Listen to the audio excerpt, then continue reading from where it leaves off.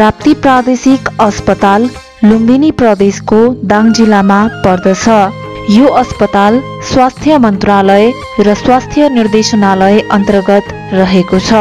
कुल छ बिघा क्षेत्रफलमा रहेको यस अस्पतालको कार्यक्षेत्र दाङ जिल्लाको पश्चिम भेग सल्यान रुकुम रोल्पा जिल्ला रहेका छन्। यस अस्पतालमा प्रशासन स्टोर लेखा इन्डोर गाइने छाला dental emergency surgery ENT general medicine paediatric lab OCMC ART सामाजिक सुरक्षा एकाइ OPD SDU MCH DOTS radiology शाखाले आफ्नो जिम्मेवारी अनुसार काम गरिरहेका छन्।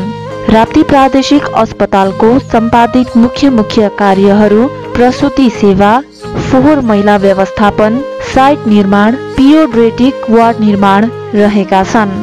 सरलाई स्वागत छ हाम्रो कार्यक्रम धन्यवाद। सेवा सुविधाहरू के के रहेका छन् त अहिले थप? हाम्रो अस्पतालमा अस्पतालले के गरिरहेको छ वर्तमान अवस्थामा भनिदिनुहोस् न सर। अब हाम्रो यस राप्ती प्रादेशिक अस्पताल दिन प्रतिदिन सेवा बढिरहेको छ। अहिले हाम्रो अञ्चल अस्पताल थियो। अञ्चल अस्पतालबाट अहिले प्रादेशिक अस्पतालमा स्तरोन्नति भएको छ र पचास बेडको अस्पताल हाल चलिरहेको छ कागजी रूपमा र हाम्रो बिरामीको चाप र सेवाको हिसाबले अहिले एक सय पचास बेड चलाइरहेका छौँ पचास बेडको अस्पताल भए पनि। यसमा सेवाहरूमा हाम्रो ओपिडी सेवाहरूमा विभिन्न शाखाहरूबाट अहिले सेवा प्रदान भइरहेछ। उदाहरणको लागि मेडिसिन सेवा हाड जोड्ने नसा सेवा सर्जरी सेवा प्रसुति तथा गाइने सेवा नाक कान घाँटी सेवा छाला सेवा मानसिक सेवा दाँत सेवा यी सम्पूर्ण रोगको उपचारहरू भइरहेछ। त्यस्तै आकस्मिक सेवामा चौबिसै घन्टा छ। र त्यसबाहेक हाम्रो अरू ल्याब एक्सरे यिनीहरू सेवा चलिरहेको छ। थप चाहिँ गएको सालदेखि सिटी स्क्यान सेवा पनि सुचारू नियमित भइरहेको छ। त्यसमा अर्को महत्त्वपूर्ण सेवा पहिलेदेखि सुरु भइरहेको मृगोला बिग्रेको डायलाइसिस सेवा थियो। त्यो अलि सेवा पाँचवटा मेसिनबाट चारवटा मेसिनबाट चलिरहेको थियो र मृगोला बिग्रेर पीडित हुनुभएकाहरूलाई पूर्ण रूपमा सेवा दिन सकिएको थिएन। केही महिना अगाडिदेखि हामीले दसवटा मेसिनबाट सुरु सेवा दिएपछि अहिले पचपन्न छप्पन्नजना मृगोला पीडितहरूले नियमित डायलिसिस सेवा पाउनु भएको छ। र मृगोला पीडितहरू अहिले वेटिङमा बस्ने अवस्था छैन। जति डायलिसिस चाहिने मान्छे बिरामीहरू हुनुहुन्थ्यो। सबैले पालो नकुरेर पाइराख्नु भएको छ। सर्जरीमा पहिले माइनर अपरेसन हुन्थ्यो अहिले मेजर अपरेसनहरू पत्थरीको अपरेसन आन्द्रा फुटेको अपरेसनहरू सबै छ। पाठेघरको पनि पहिले प्रसुति हुन नसकेकोलाई सिजरियन सेक्सन भन्छौँ शल्यक्रियाबाट बच्चा जन्माउने हुन्थ्यो भने अहिले पाठेघर फाल्नुपर्ने रोगहरू लागेकोलाई पाठेघर फाल्ने। आङ खसेकोहरूको यिनीहरूको सेवा भइरहेको छ। प्रयोगशालामा पनि लगभग पहिले सीमित प्रयोगशाला टेस्टहरू हुन्थ्यो। बाहिर पठाउनु पर्नेहरू हुन्थ्यो। अहिले अधिकांश नाइन्टी नाइन पर्सेन्ट सबै प्रयोगशाला टेस्टहरू हाम्रै प्रयोगशालामा हुन्छ। सिक्कल सेलको नयाँ टेस्टहरू छ जुन बिरामीलाई महँगो पर्थ्यो त्यो नि शुल्क भइरहेको छ। अरू क्षयरोगका यिनीहरू सबै नि शुल्क भइराखेको छ। एक्सरेहरू पहिले साधारण एक्सरे थियो अहिले डिजिटल एक्सरेहरू छ दिनमा पचास साठीवटा एक्सरे सेवा पाइराख्नु भएको छ। सेवाहरू अत्यावश्यक सेवाहरू लगभग सबै सुरु भएका छन्। र अब सेवा त जति बढाए पनि अझै बढाउने ठाउँ प्रशस्त छ। र अहिले चाहिँ बिरामीको चाप पहिले हामी सयदेखि दुई सयजना बिरामी ओपिडीमा हेर्ने थियो भने अब अहिले दैनिक पाँच सयदेखि छ सयजना बिरामी आउनुहुन्छ चाप अधिक छ। जनशक्ति त्यही हाम्रो पहिलेकै त्यही सयजना दुई सयजना हेर्ने जनशक्ति हो। चाप अधिक छ। कहाँ कहाँबाट आइरहनु भएको छ त्यो?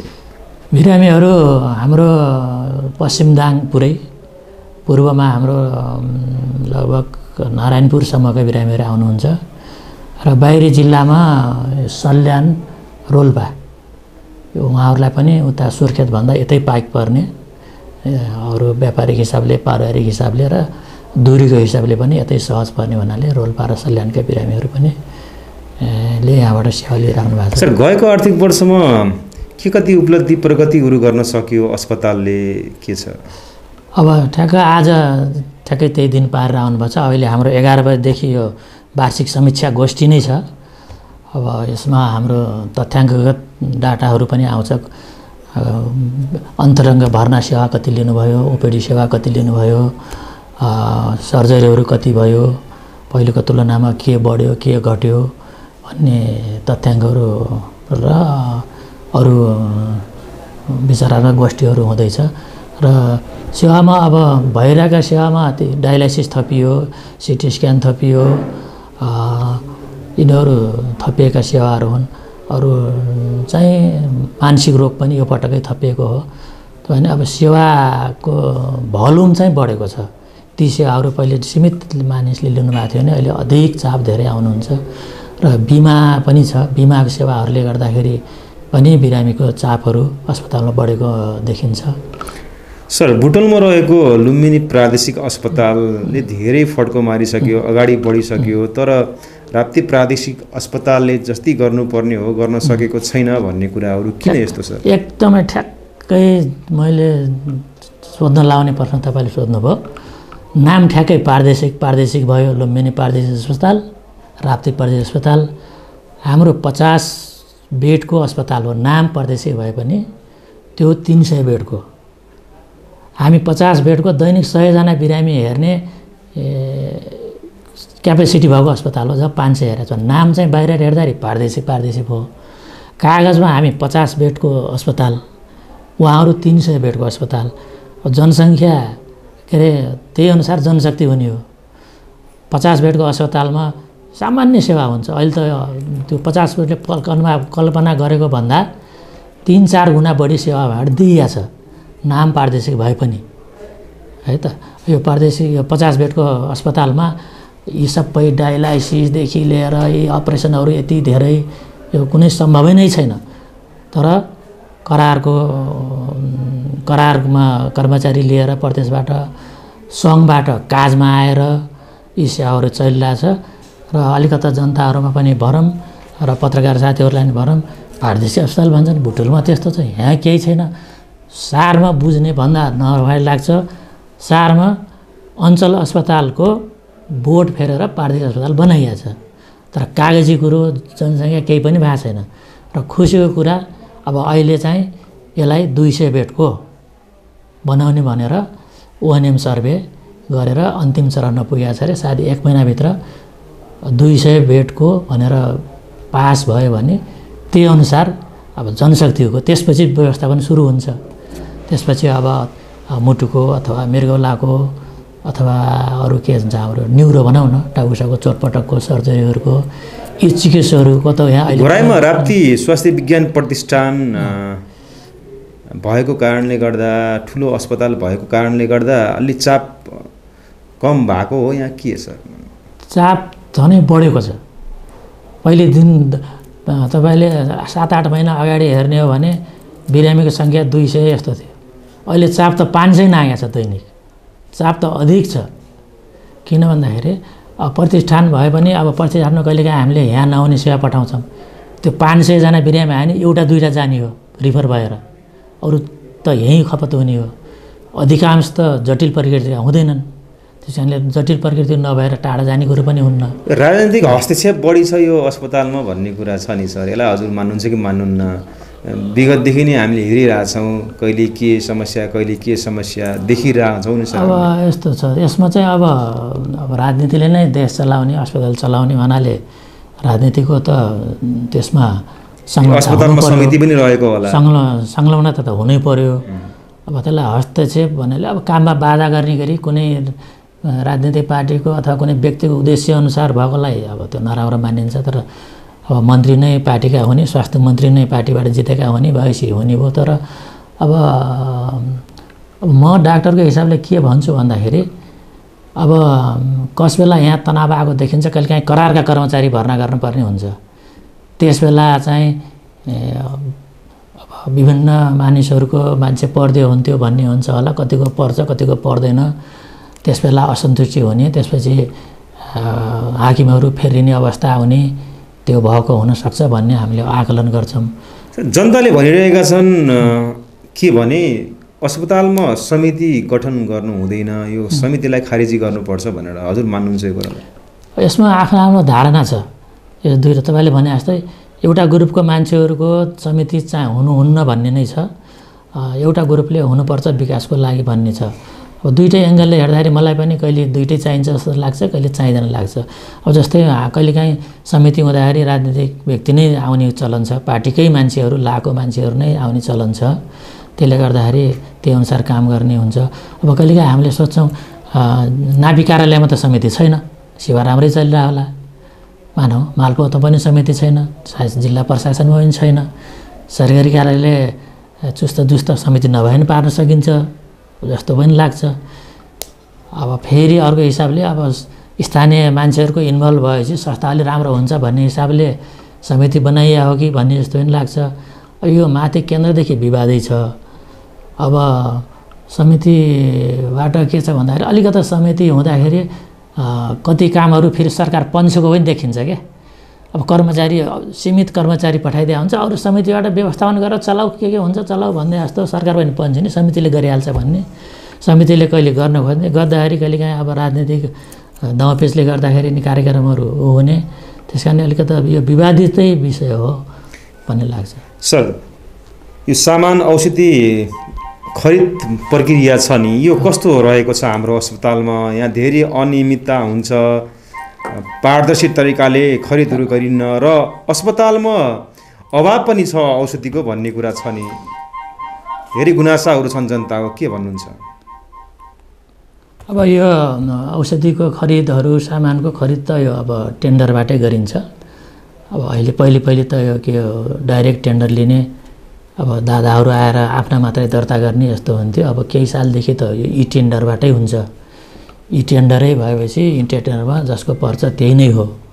अब त्यसमा त्यसमा आर्थिक नियमले होला टेन्डरबाट परेपछि त्यसले सप्लाई गर्ने हो। त्यसमा अभाव पनि छ औषधिको अब अभावहरू चाहिँ बेला बेलामा कहिलेकाहीँ सप्लायरले पनि ल्याइदिँदैन। कति औषधिहरू बजारमा पाइँदैन कहिलेकाहीँ समयमा डेलिभरी गर्दैनन्। अब तर अधिकांश औषधिहरू पाउने नै हुन्छ। कहिलेकाहीँ कुनै मलिकुल बजारमै पनि हुन्न। बजार बजारमा किन्दाखेरि पनि त्यो पाइरहेको हुन्न।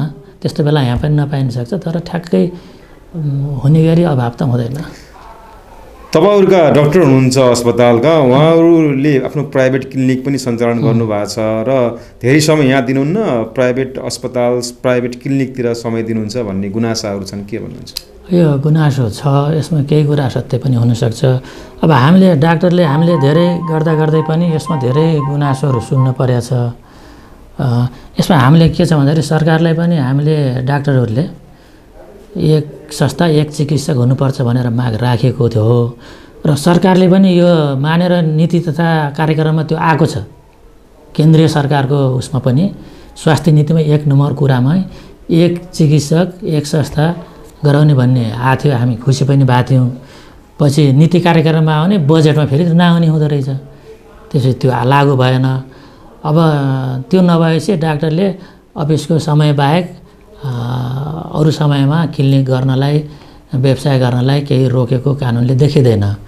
खालि आयो समस्या अफिस समयमा बाहिर गरिदिनु भएन भनेर हामीले सचेत गराएको छौँ। तिन बजीसम्म बस्नुपर्ने हो दसदेखि कोही कोही अब यस्तो हुन्छ डाक्टरको दसदेखि तिन भन् बाहिर त्यो बेला बाहिर है त दसदेखि तिन बाहेक बाहिर चिकित्सक अथवा कोही काम गरे भेट्यो त्यो भित्र भनौँ न अफिस टाइममा भयो भने त्यो सबैले निगरानी राख्ने हो त्यसमा आवश्यक कारवाही गर्ने हो तपाईँहरूले निगरानी हामीले पनि भनिरहेको छौँ र कहिलेकाहीँ के हुन्छ जस्तै कुनै विभागमा दुई बजीसम्म सबै बिरामी सकियो टिकट काटेका बिरामी सक्यो भने बसिराख्दैनन् अब कोठामा गएर आराम गर्लान् अथवा कतै घर पनि जान सक्लान् कुनै दिन तर अस्पतालभित्रै बस्यो कतै आराम गरेर भन्छौँ।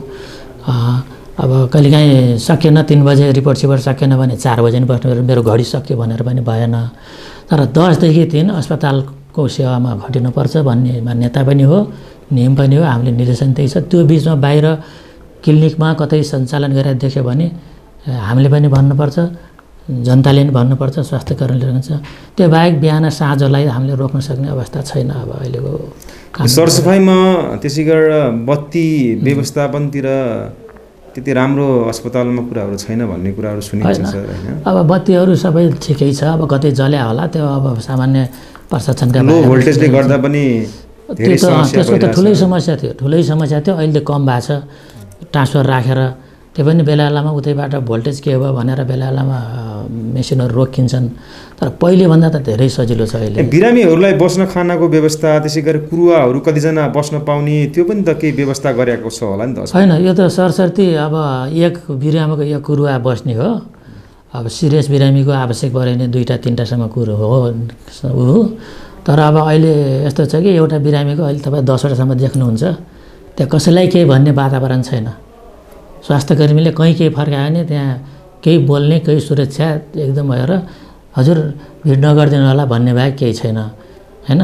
अब बिरामी जतिजना आउनुहुन्छ इमर्जेन्सीमा एउटा बिरामीको दस बिसजना आउनुहुन्छ अलिअलि त राख्छौँ। तर सरसर्ती सारो बिरामीको दुईवटा बस्दिने सामान्य बिरामीको एउटा बस्ने आलो पालो बस्ने भन्ने नै हो। त्यसमा अब दुई चारवटा ठुला उपलब्धिहरू खास के हुन् त? तपाईँ आइसकेपछि के गर्न सक्नुभयो? शल्यक्रियामा होस् अथवा अन्य होइन? त्यस्तो ठुलो अवधि केही भएको छैन। म आज ठ्याक्कै एक महिना भयो म आएको त्यस्तो मिराकल हुने केही पनि छैन ठुलो अवधि केही छैन। यही सेवालाई अब ओपिडीमा अलिकति भिड थियो माथि सारिया छ दुइटा ओपिडी गरिरहेको छ मेडिसिनको। एउटा कोठामा भिड हुन्थ्यो र होइन? र त्यस्तो मान्छे फेरेर तुरुन्तै केही हुने अब होइन भएका चिजलाई सुधार गर्दै जाने हो। म पनि किन भयो मलाई थाहा छैन। छ महिना आठ महिना मेसो फेरिन्छन् साँझ चिठी आउँछ किन फेरिन्छन् पनि थाहा छैन। कोही आएर मिराकल हुने होइन। अब यसका ठुल्ठुला कुराहरू छन् अब दुई सय बेड भयो भने एउटा ठुलो चेन्ज हुन्छ। दुई सय बेड भएपछि त्यही अनुसार जनशक्ति बढ्छ। अब तुरुन्त चेन्ज हुने अब माथि भवन बनिरहेछ तला थपेको। अब त्यो कम्प्लिट भएको छैन। अब हामीले घचघचाइरहेको छौँ हुँदैछ भन्छ कहिले पैसा देखाएन भन्छ निर्माण व्यवसायीले। भने हाम्रो खान त्यो कम्प्लिट भयो भने अलि ओपिडीहरू अलि व्यवस्थित हुन्छ होइन?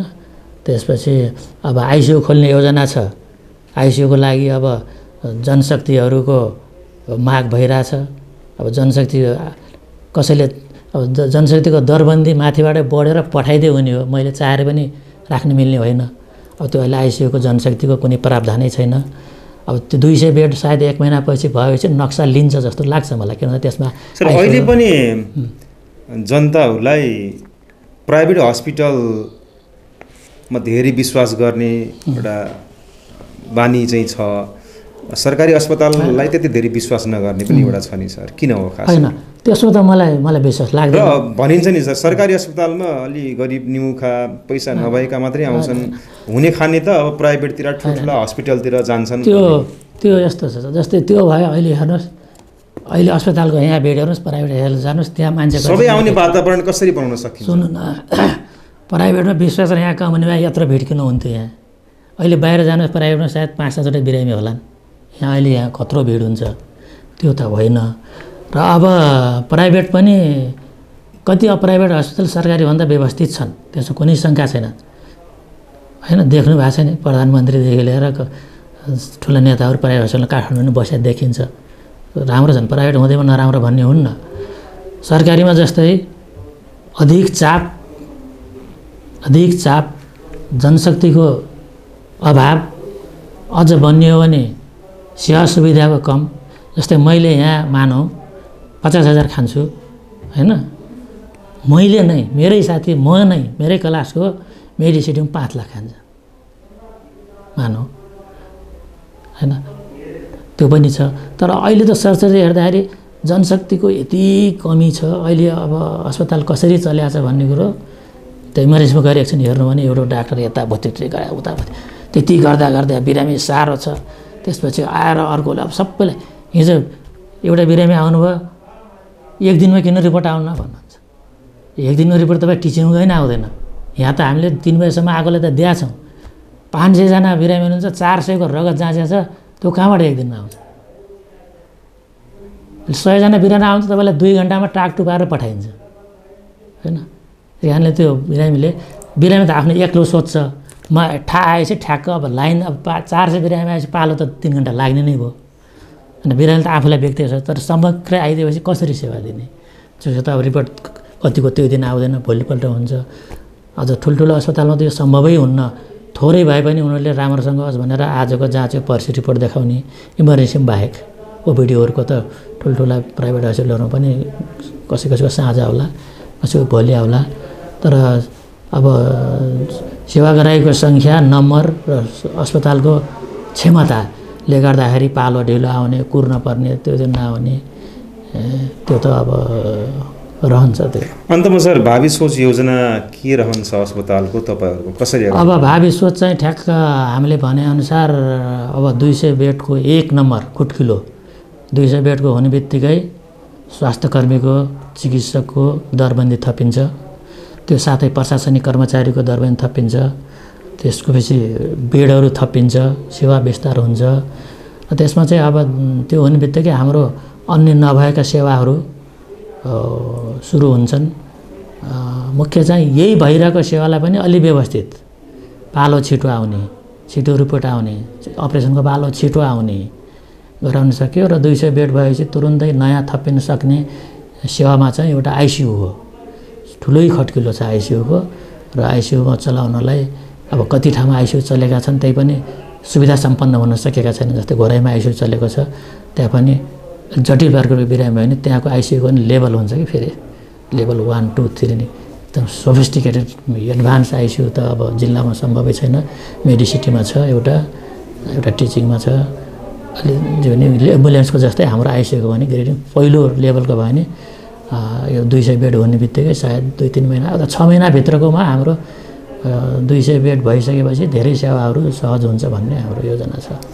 समय र जानकारी दिनुभयो धन्यवाद धन्यवाद साथीहरूलाई यति कुरा राखेर जनता समक्ष पुर्याउनु दिनुभएकोमा